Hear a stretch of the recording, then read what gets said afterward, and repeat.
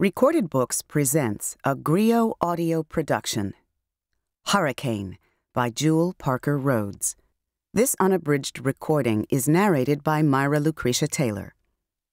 Recorded Books is the producer and publisher of Griot Audio, celebrating the best in contemporary African American fiction and nonfiction. And now, Hurricane. Prologue The Igbo say, all stories are true. Conjure women say, truth flies on the wings of dreams. New Orleans, Night Terrors. Bodies were everywhere. Limp, bloated, tangled in bushes, trees, floating in water. Men, women, and children bobbed in the muddy current, interspersed with upside down Chevys, shredded trees, snapped power lines, and mangled street signs. Rain added to the river's rise. Hot, humid rain. Rain that tasted metallic and fell like blades, pricking skin.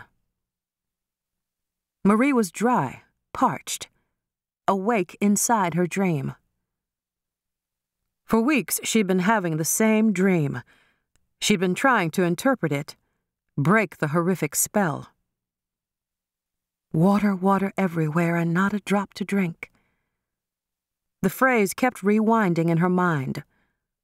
Coleridge, the rhyme of the ancient mariner. Not a drop to drink just dead, infested waters. She moaned. Her legs were tangled in the sheets. Sweat blanketed her skin. She dove back down into her dream, through layers of thought, anxiety, and consciousness. Inhale, exhale, breathe.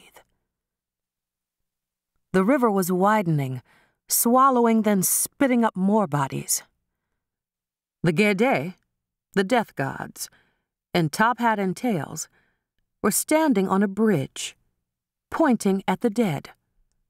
No, at something else. Something within the water. Let me see, she murmured. Let me see.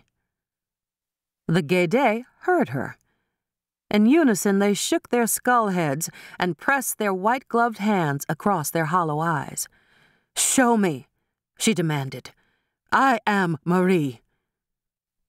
The Gede opened their mouths. They didn't make sound.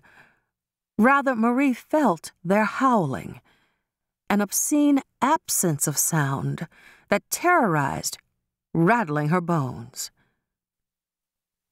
Both inside and outside her dream, Marie wanted to run, hide, burrow into a hole so deep no one, tangible or intangible, could ever touch her.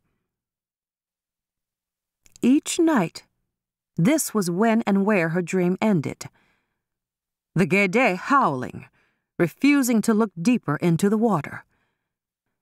If the Gede were afraid to look, why should she? Her body constricted, her respiration quickened. Her legs grew rigid, tight. She rasped, Let me see.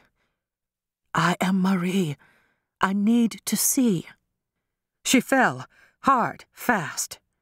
Screaming, she clawed at the sheets. Her body jerked. The freefall stopped.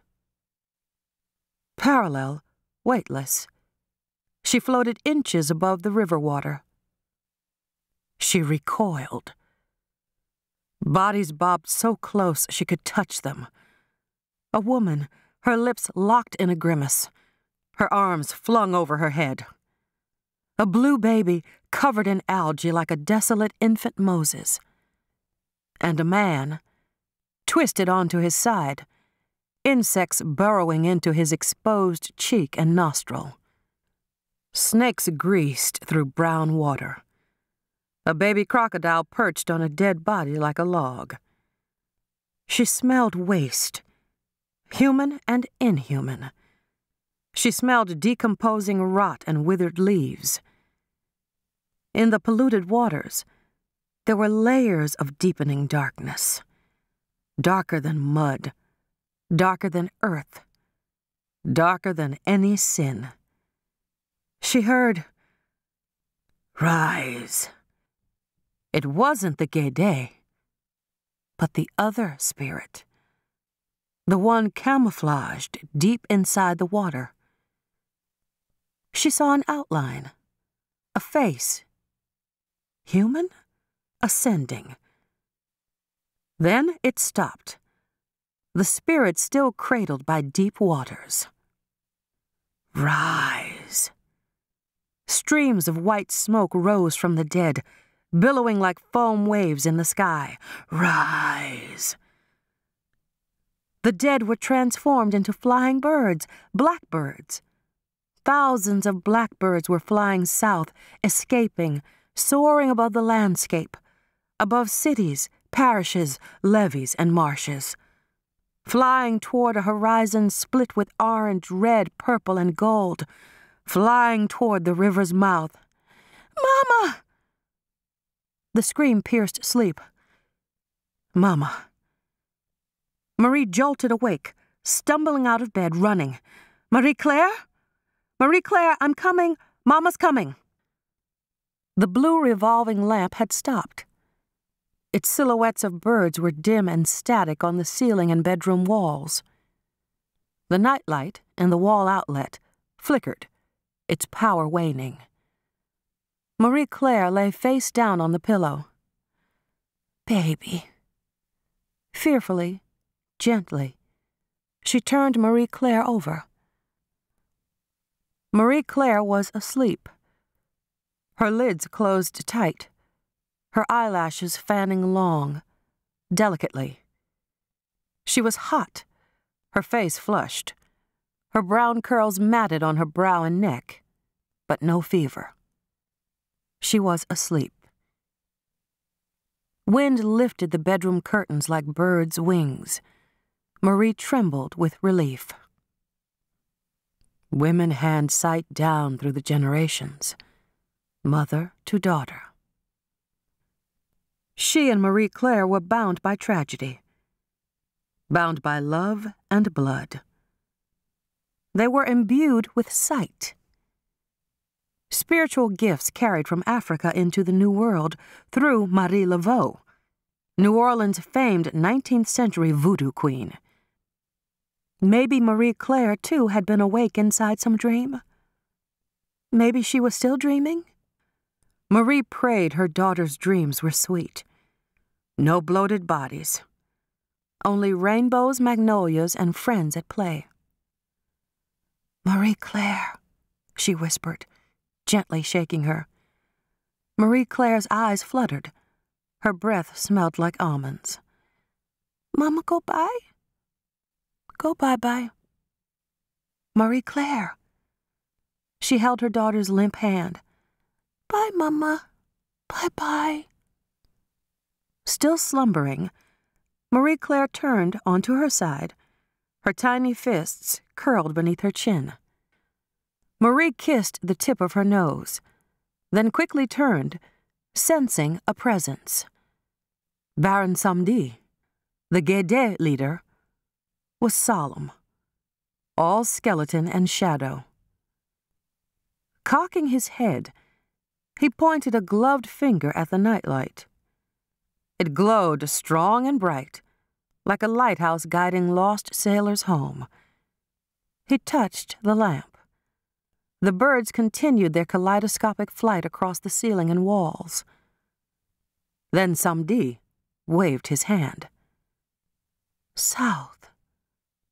Birds flying south, she whispered. In the Sleeping Beauty's case, she'd learned the Guédé despised those who interfered with death. She learned, too, that if the Guédé refused to dig your grave, you wouldn't die. Asleep and awake, the Guédé were guiding her. You coming? she asked the Baron softly. Baron Samedi tipped his hat and shook his head. He sat on the bed, then leaned forward, his gloved fingers stroking Marie Claire's hair. The hair on her skin rose. From her medical training, she knew it was a chemical reaction spurred by fear, the fight or flight response. Adrenaline was raising her blood pressure, making her heart beat faster. It was startling to see death touching Marie Claire. Baron Samedi smiled, a grimace of a skeletal jaw, lost and rotten teeth. You won't hurt her. It was a statement, not a question. The Guedes were encouraging her to follow her dream to its source. You don't do oatmeal, do you? Samedi sat, cross legged, at the foot of the bed. Marie smiled. What better babysitter than death itself? She suddenly wanted to wake Marie Claire, to see her smile, and see herself reflected in her daughter's eyes. She bent, pressing her lips against Marie Claire's cheek, inhaling her sweet scent. Thank you, Baron. I'm grateful. Samedi kept mute. Marie walked quickly out of the room.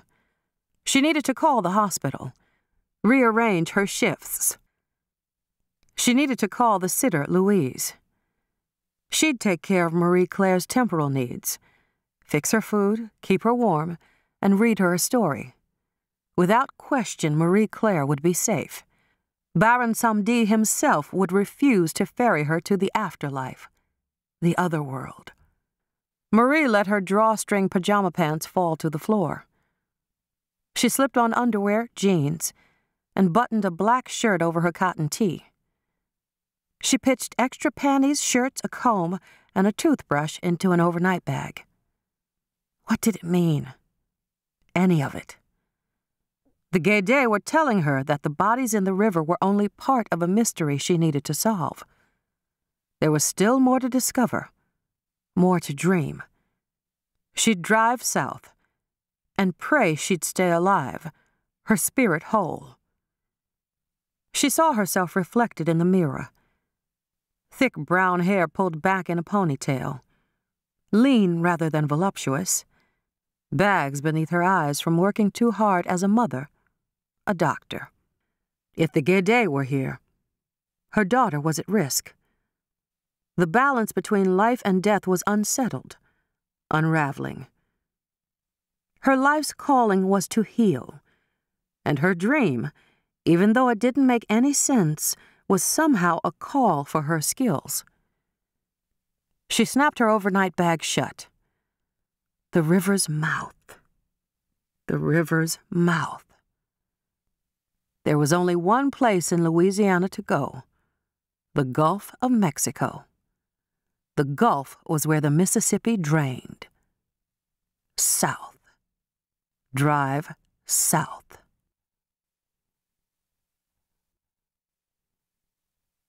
Part 1 Old ways, country ways, haints fly. Everyone has southern roots. Chapter 1 A Bayou Road, late afternoon. As soon as she hit the road, her bravado faded. That was the problem with having spiritual gifts. She was still ordinary, only extraordinary when need demanded it. But wasn't that true of any woman? Marie pressed hard on the gas, her new Mustang, top down, carrying her into the unknown. She was following the birds, except they weren't black mainly gray, brown, and mottled pigeons, some swallows. But as she traveled farther south into a landscape infused with water, streams, inlets, and tributaries, white egrets soared, pelicans arched bony wings, and hawks glided. Her gift was following signs, believing that all things animate and inanimate had life. Still, some of the time she thought she was crazy. She worried she was becoming just another Southern Gothic. An eccentric, a haint, a black magic witch, or a Lilith demon, as some folks like to call her. Once she heard, Juju whore, shouted by a French Quarter drunk who hadn't been sober in over two years. She looked into the rearview mirror. Elle. Damn it, Elle. She was chauffeuring a ghost. Her palm slapped the steering wheel. That's it. She might as well get it over with, break down, lose her mind, and live in a padded cell. Elle's ghost rolled her eyes as if to say, Whatever. Marie laughed, releasing strain, the tension gripping her neck and back. She pressed hard on the gas, feeling the car adjust gears, gathering speed. Bayou air flowed over her, layering her skin with sweat. No more self pity, no regrets. Marie had always found salvation in her work. But in the months since Elle, Charity's head nurse, and Dr. Dulac, the head of the ER, had been murdered, being inside Charity Hospital had lost some appeal. As a medical resident, she'd been drawn to New Orleans and hadn't known why. It had been Dulac who'd explained her legacy and tutored her in the voodoo arts. Dulac, who'd become both her beloved mentor and father figure. Elle was the mother who encouraged her. During her last case, Dulac and Elle had sacrificed their lives to protect Marie Claire from the Wazimamoto, the African vampire. She kept remembering Elle and Dulac, dead, limp, their bodies twisted on the floor, drained of blood. She hadn't seen Dulac since his death. Elle's spirit visited occasionally. She often brought women with her, sister friends, ghosts from another age, slaves sold as breeders, quadroons contracted as mistresses to white aristocrats, and prostitutes who played sex games to buy milk and bread for their children. Elle was reminding her that the world could be hard on women. What else is new? Marie would say to Elle after failing to convince another battered woman in the ER to file a police report, run away, or spend the night in a shelter. It is what it is, Elle would reply. Marie sighed, tucking a windswept strand of hair behind her ear. The world was harsh, particularly Louisiana, steeped in conflict like rice in an unsavory stew. She wondered if America ever regretted purchasing Louisiana from the French. In 1823, did America understand it was buying a landscape designed for fevered dreams? Swamps that could swallow you alive, infected mosquitoes insatiably draining blood, yellow moons heralding disasters, and weeping willows sheltering predators large and small. Did they imagine hurricanes flooding rivers, streets, and with whipping wind howling, blowing houses down? Still, there was a beauty to Louisiana, an otherworldliness and preternatural charm. She was driving straight into its bayou heart. Elle's presence was companionable.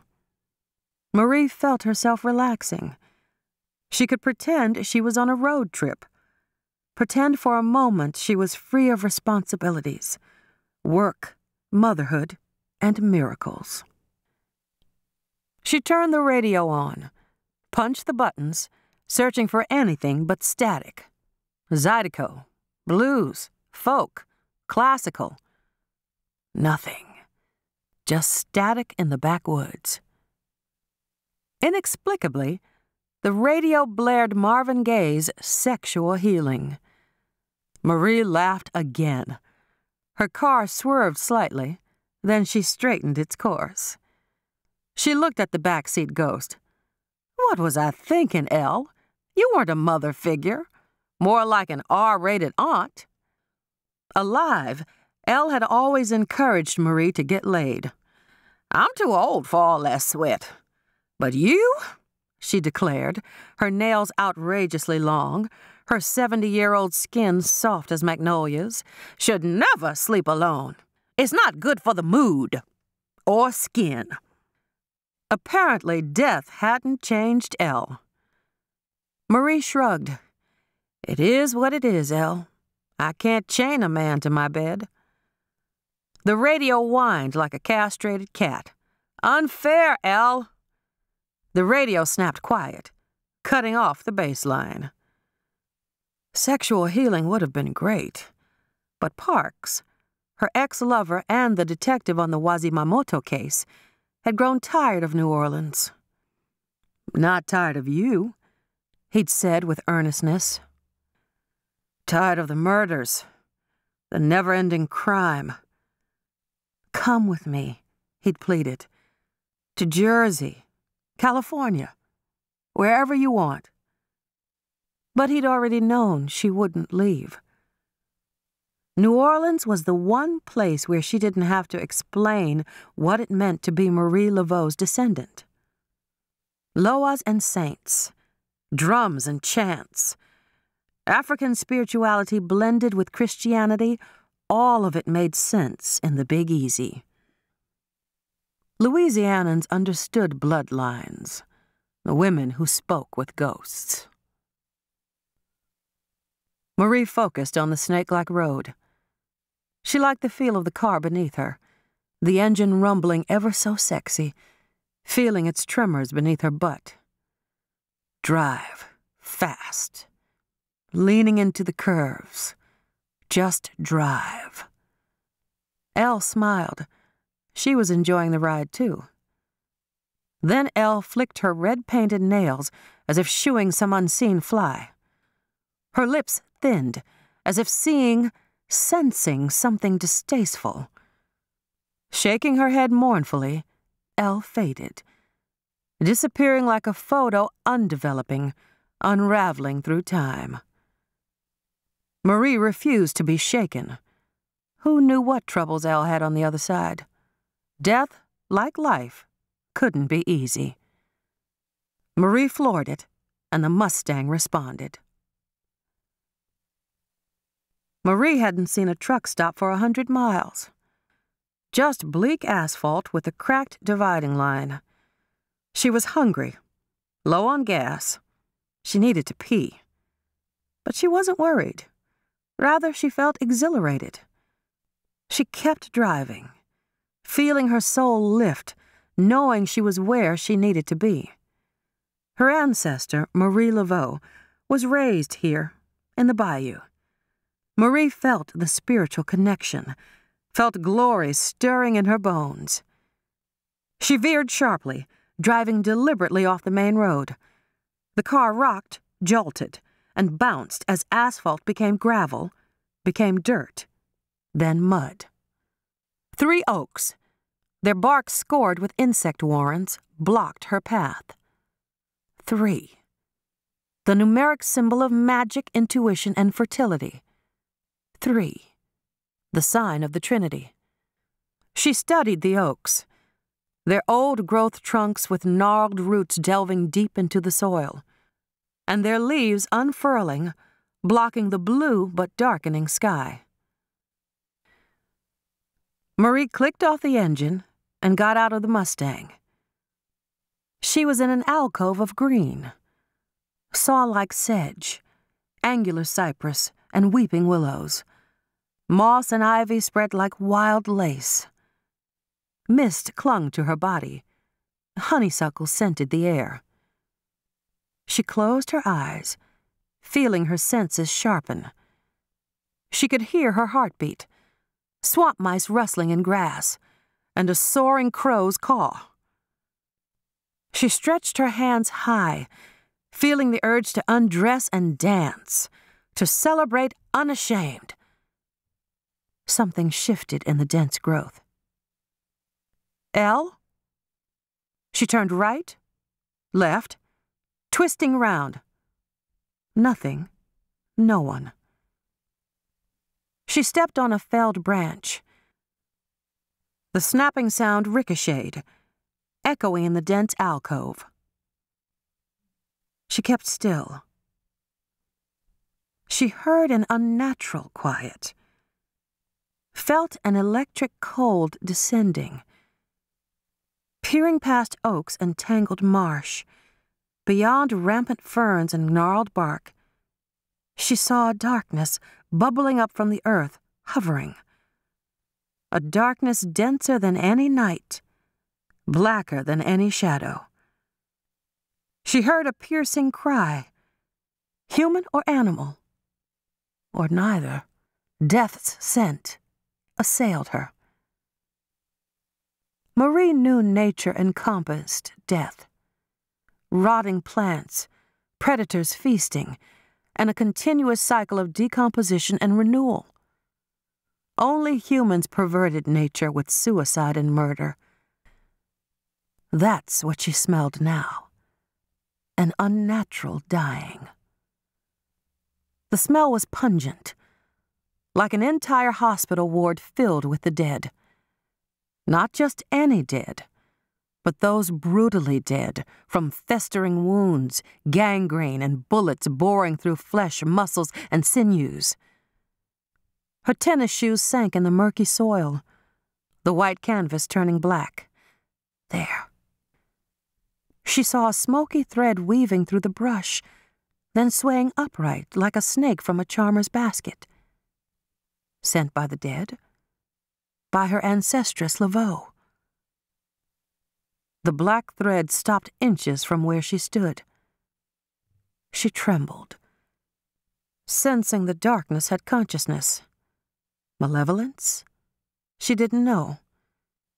She only knew nothing had been an accident. There was no escape from Fa, her fate. Shit! She slipped, her ankle twisting.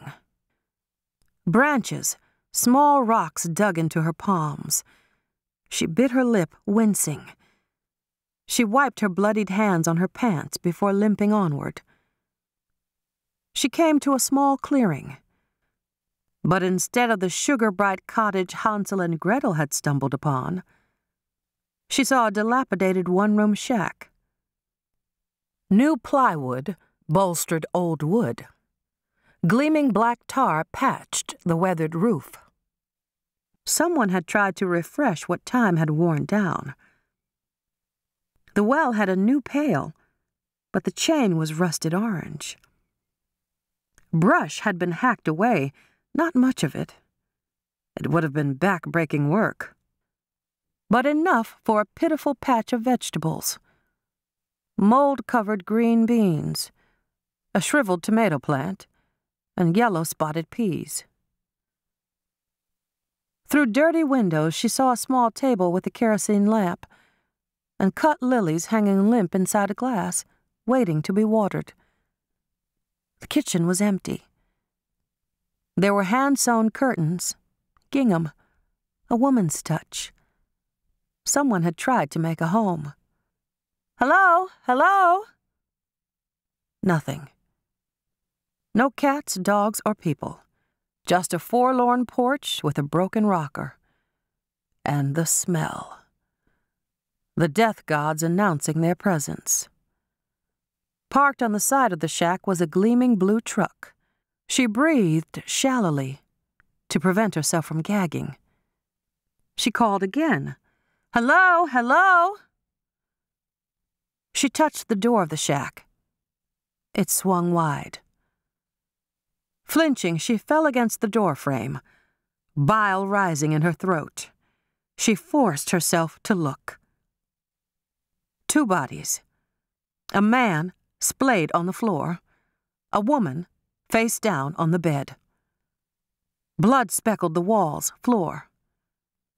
Human bodies held approximately six quarts of blood. The woman's remaining blood had soaked the sheets, the thin cotton mattress, and had dripped off the bed, making a small puddle. She was a doctor. Heal. Gritting against the pain in her ankle, she bent, checking pulses. None. The man was still warm. The woman, warmer. The woman had been the last to die. The blast had lain open her chest, fractured her spine, muscle. In the city, most wounds were from a 45 or 38. These wounds were from a shotgun. Pellets littered the body and the wall behind. What had these two done to deserve such rage? Or had it been a random theft? But what did they have worth stealing? The woman was slim, medium height. Her arms disappeared beneath her torso. Marie stroked the woman's hair, then stopped. Extending outward from the woman's throat was a swatch of pink with satin trim. The knit blanket was damp, stained red. Strength, Marie murmured. She gripped a shoulder, turning the woman over revealing an infant scattershot through the abdomen. Lead pellets had passed from mother to child, killing the baby instantly. Or at least Marie hoped so. She hoped the baby hadn't suffocated first beneath her mother's body. Marie dry heaved, grateful her stomach was empty. It is what it is, Elle murmured. No, it isn't fair, Marie responded fiercely. If you didn't look below the neck, the baby appeared asleep. Rich chocolate skin, with black strands covering her head. She couldn't have been more than three months. Her skull was still flexible. The bones hadn't fused. Marie turned, sensing a disruption in the air, a chasm in time. The dead man, newly alive, was an arm's length in front of her. Ex military, he wore khaki pants, army issue boots. He was muscular, fit, a warrior. His wife and baby were crying, the woman softly, the baby big gulping cries. Marie couldn't see the assailant. Assailants? Half the room was dark, as if a curtain or shroud had been drawn. Let me see, she murmured, Let me see. The young man, his axe in his hand, was planted like a tree, protecting his family. He was talking angrily, his words soundless. Talking, shaking his head, shouting enraged, he tensed, crouched and leapt, his left arm lifting his axe high. Then his forward motion stopped the axe falling from his hand, crashing down. That must have been the first shot. His body jerked back. A second shot. Blood drained from two huge wounds. He was nearly dead. To the left, someone picked up his axe, swung it wide, cutting into the man's abdomen, cutting deep through stomach, intestines. He fell forward but not before Marie had a clear look at his face. He'd been startled, incredulous. Like the youth she'd seen in Charity's ER. Young men, often gang members, who never expected to die or thought they couldn't be hurt. In seconds, like a silent movie reel, a veteran soldier lay murdered. Blood flowed like water. Marie blinked tears. If she shifted her weight, turned her head ever so slightly, she'd see the mother and child die. She refused. As it was, she knew she'd always be haunted by their image a bloodied Madonna and child. She kept her eyes fixed on the curtain. Why couldn't she see the murderers? The murderer. For each hour dead, Body temperature dropped eight tenths of a percent. Bayou heat might have slowed the progress. Rigor mortis usually occurred within the first half hour to three hours. All the bodies were still pliable. Marie shuddered. The murders had occurred as she was driving, being guided here. Instinct told her that the woman had been kept alive. Why? Had they interrogated her? Harmed her in some other way? Curious, She looked again at mother and child. The woman's floral dress was hitched high. The backs of her knees were locked. She saw latex gloved hands raising the woman's floral dress, ripping her cotton panties. Marie turned, snapping, shutting her eyes tight. She wouldn't let herself think of it. She wouldn't turn and stare into the vision. Air still shimmered. The murderer, murderers, had to have known. Kill the mother, kill the child. No more! Marie screamed, raising her hands to block the images, her thoughts. No more, please! The air calmed, stabilized. The shielding curtain dissolved, the vision disappeared. Flies and mosquitoes feasted on blood. Outside on the porch, it was easier to breathe. But Marie knew death's smell was seeping into her clothes, her pores. Gripping the porch rail, Marie's palms began bleeding again. She gripped harder, using the pain to focus, heighten her senses. She heard creatures stirring alligators, swamp turtles, and nesting herons. She heard a manufactured silence, an intention not to breathe, move, or speak. She sensed no imminent threat for now, she knew they wouldn't return. Wonderingly, she shook her head. How did she know that for now she was safe? How did she know they were still hiding in the bayou, watching her? She wiped sweat from her brow. Night was falling fast. Her head ached from the rise in barometric pressure. A storm was coming. Rain washes away evidence, Parks would say, destroys footprints, tire marks. There were clues she was missing. Added up, what did it mean? Poor backwater people with new wealth? A new truck, a new pail? Fresh wood and tar to patch a falling down house?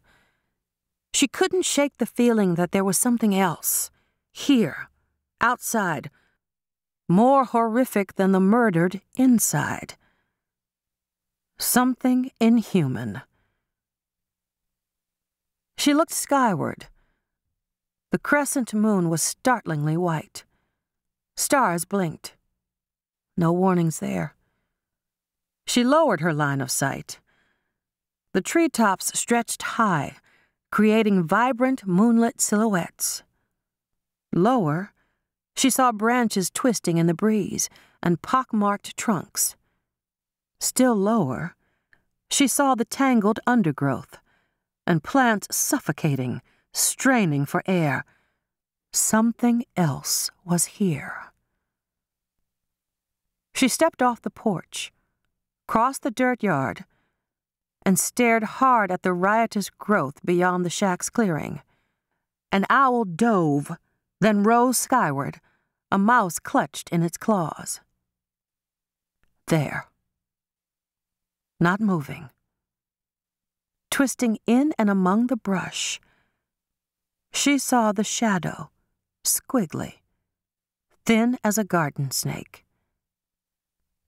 The shadow, like veins in a body, elongated, stretching like black taffy, then thickening into a rope, doubling in size, until it looked like a stream, a river. Then a bleeding black lake covering the land. It was a slick, viscous pool, a gleaming darkness spreading toward the porch, the house, and Marie. Appalled, she stumbled backward. In seconds, darkness covered the entire yard, swallowing the landscape's colors, the brown and green. Marie stooped extending her bruised hands. Her hands hovered, inches from the ground, slightly trembling in the moist air. Like a spring snapping back, the darkness coalesced, shrank itself thin, and curled like a ribbon about her hand. The darkness split into tentacles. sliding high and higher, wrapping about her arm, her shoulders, her chest. The smell was toxic, organic mixed with inorganic, nature tainted with the unnatural. Rot was natural decomposition. This darkness was purposeful destruction. She felt rather than saw images. Darkness bleeding into the earth's warrens, seeping downward, then gurgling upward and bursting into flames. Swamplands were burning. The darkness was rising, swirling, covering her throat, soon her mouth. Birds fell from the sky, vanishing, drowning in the slick pool. She could run, but to what end? I am Marie. Her skin was irritated, burning. Descendant of a voodoo queen raised on this land. This, too, is home. The words came unbidden, but saying them felt right. The darkness had weight. It inched across her lips, seeping into her mouth. She gagged, tasting bitterness, feeling herself drowning, a heaviness suffocating, filling her lungs. Marie Laveau. She knew her name had power, and inside her head she chanted, Marie Laveau, I am Marie Laveau. The darkness lifted, dispersed as if it had never been. A mirage? A dream? The stars and moon glowed bright again. Animals stirred. The water thrush sang, trilling more richly than a nightingale. Had the murderers seen what she'd seen? She held her breath, listening again for movement. She was the only person alive for miles. Her ankle and hands ached. She looked back at the bleak house, hoping the newly dead didn't rise as ghosts. She wasn't sure she could carry the weight of the young family haunting her. But as soon as she thought it, Marie knew she lied. It is what it is. She was who she was. Part of the Laveau bloodline, extending across centuries, across nations, to the Mambos of Haiti, the shamans of Bahia, and the spiritualists of West Africa. Visions, dreams, ghosts came to her because she could bear it, had learned to bear it without going mad. At least not yet. El? You there? No answer. Only the shrill of cicadas. Should I head north back to the city? Or south?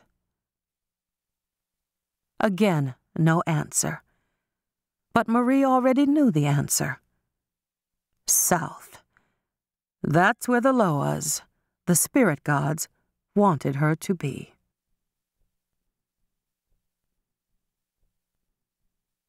Chapter 2 A country town. Evening. Marie drove slowly. The Mustang's headlights overly bright tires crunching on gravel. The night was pitch dark, a weightless, normal darkness. No street lamps.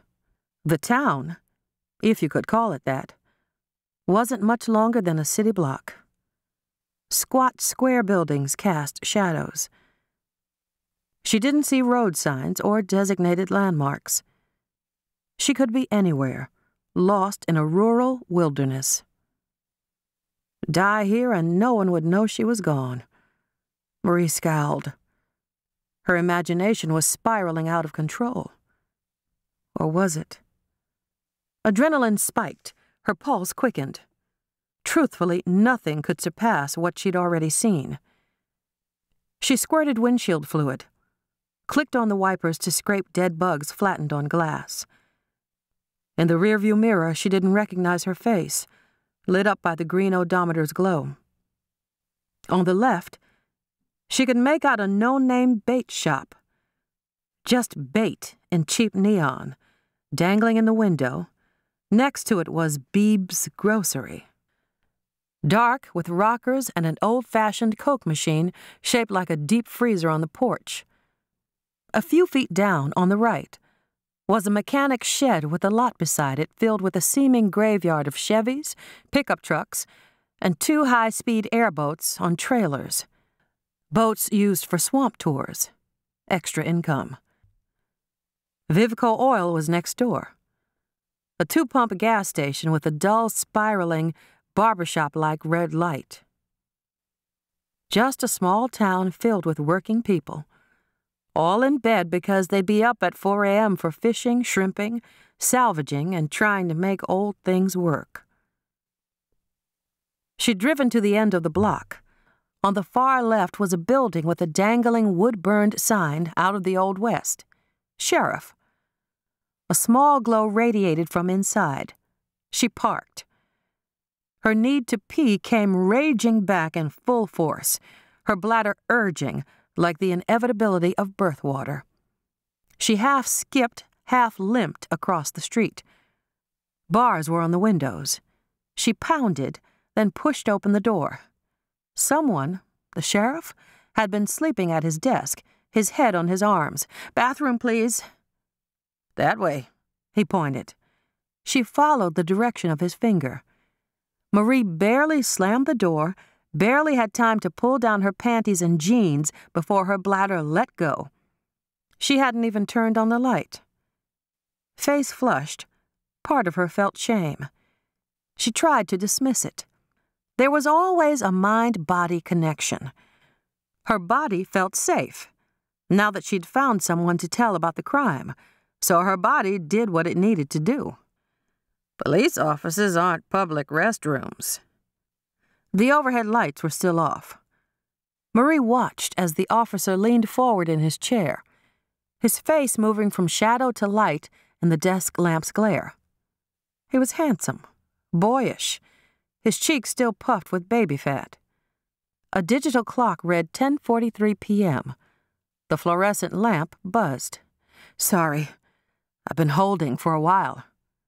Not good for you. His voice had a southern twang. Tell me about it, she flushed. Looking for someone? Room for a night? Passing through? I was looking for you. As soon as she said it, she knew it had come out wrong. He walked toward her, an odd mix of easy, elegant grace with a hitch to his left step. She suspected a knee injury. He was young Barely twenty, she thought. Derek, he extended his hand. Folks call me Deet. She smothered a laugh. Only in the South would a nickname after an insect repellent not be an insult. Football. Tulane. Halfback. He smiled, cocky, his head tilted as if he were wearing an imaginary hat. No one could touch you, she said, not unless I wanted them to. Are you flirting with me? Any second she'd laugh, hysterical. He had brown eyes, almost puppy dog. Tight, curly black hair. Why not burrow against him? Since motherhood, it had been sexual feast or famine. Making love to Parks. No, admit it. Part of her had deeply loved him, had been good but no one had touched her gently, sweetly, romantically for almost a year. Why not let the day unwind and forget anything had happened? Marie scowled, as if sexual afterglow could wash away murder. She reached out, her fingertips touching the nameplate beneath his badge. Malvo? Sheriff Malvo? He grabbed her hand kissing her palm as if they were at a fancy dress ball. Even in a faintly lit, dusty jail, this young man was all outrageous confidence. A country boy acting like a city man. Marie slid her hand gently from his grasp. Without question, she liked handsome men, but she liked smart men better. I've come to report a murder. You serious? His voice cracked, pitching high. What? No murders here? Never. His affected charm gave way to thrilled awe. Most we get is bait shop robberies, rods and reels stolen, coke machines busted up, parts, carburetors, spark plugs, tires ripped from dead cars, airboats. Small town. Small town cop, she replied. He bristled. Might as well say it. Stupid. That's what you're thinking. It was, but she didn't reply. She didn't usually stereotype. She knew better than anyone else how stereotypes demeaned. Wicked witch, Satan's child, devil. She'd been called all that and more. She flushed. I'm sorry. An entire family was murdered, about 40, 60 miles back. You'll need forensic analyses. We hope you enjoyed this preview. To continue listening to this audiobook on Google Play Books, use the link in the video description.